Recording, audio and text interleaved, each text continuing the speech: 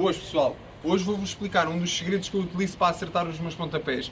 Vou-vos mostrar com o circular de esquerda, porque é o golpe que eu tenho mais facilidade em fazer, mas na realidade com qualquer golpe de pernas vocês conseguem usar este tipo de, de truque.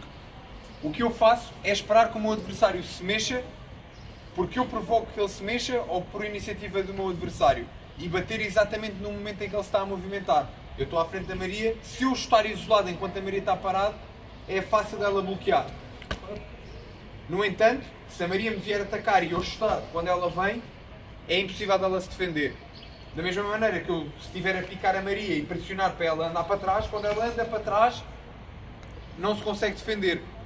Posso fazer exatamente o mesmo para picar a Maria para que ela me ataque e eu bata quando ela está a avançar. Eu estou a picá-la, quando ela avança, pá, chuto e é impossível dela, dela defender-se e sem receber pelo menos o impacto nas costelas, a única hipótese que terá será agarrar, mas mesmo assim vai receber o impacto nas costelas.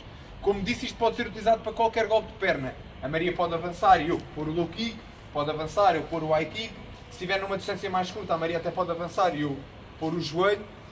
Deixem isso ao vosso critério e como se sentirem mais confortáveis, aprendam e é que o timing é tudo e o principal é vocês baterem no momento em que o vosso adversário está a mexer para ele não conseguir defender-se. Espero que tenham gostado, malta.